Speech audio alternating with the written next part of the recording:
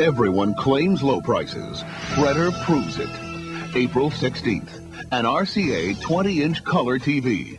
Lechmere's price was $249.99. Highland was lower.